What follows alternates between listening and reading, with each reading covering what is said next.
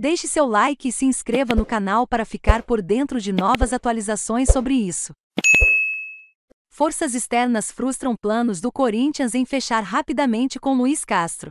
Proposta corintiana pelo treinador português segue valendo, mas multa no Catar e investida do Botafogo jogam contra o Timão, que tem pressa para definir seu novo técnico. O Corinthians queria anunciar o português Luiz Castro como novo treinador ainda neste fim de semana, mas tem sofrido força contrária por questões externas.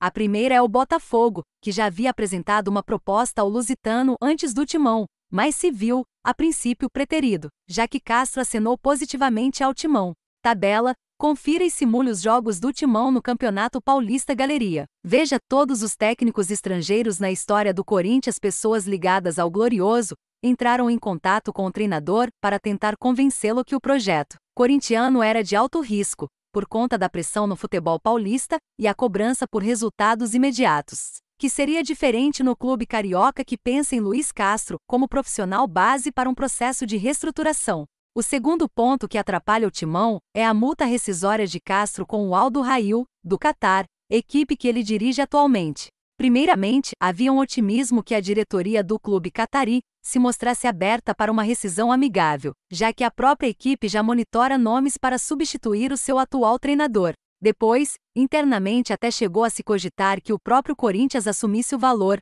que gira em torno de 1 a 1,2 milhas de dólares, entre reais na cotação atual, aproximadamente para acelerar o processo. Mas o clube alvinegro só teria esse dinheiro caso entrasse algum investidor na jogada, podendo ser, inclusive, o Grupo Tãosa, que tem despontado como parceiro do Timão em grandes negócios, como a contratação do Meia Paulinho. No entanto, no momento, a direção corintiana optou por recuar por essa opção. Com isso, ainda que Corinthians e Luiz Castro já estejam acertados verbalmente, com o projeto e bases salariais definidas. A negociação que avançou bastante na última semana acabou travando em alguns pontos justamente nos dias em que a cúpula alvinegra estimava estar anunciando o novo comandante do clube. Caso o negócio com Castro não evolua, a tendência é que o Corinthians vire o canhão para Leonardo Jardim, outro técnico português, que recentemente deixou o Al Hilal, da Arábia Saudita, e tem bom trânsito com representantes corintianos na Europa, que já, inclusive,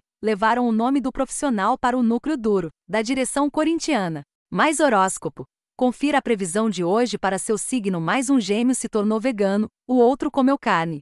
Confira o resultado mais como eram os penicos na Roma antiga? Arqueólogos mostram mais Omicron. Sintoma inesperado da infecção em crianças preocupa equipes médicas mais vendedores do mercadão de SP, ameaçam clientes com golpe da fruta mais truque para espremer limões vira mania nas redes sociais mais ictiossauro monstro. É descoberto na Colômbia mais veja quais foram os carros mais roubados em SP. Em 2021 mais expedição identifica Lula gigante responsável por naufrágio de navio em 2011 mais agência dos Estados Unidos alerta. Nunca lave carne de frango crua.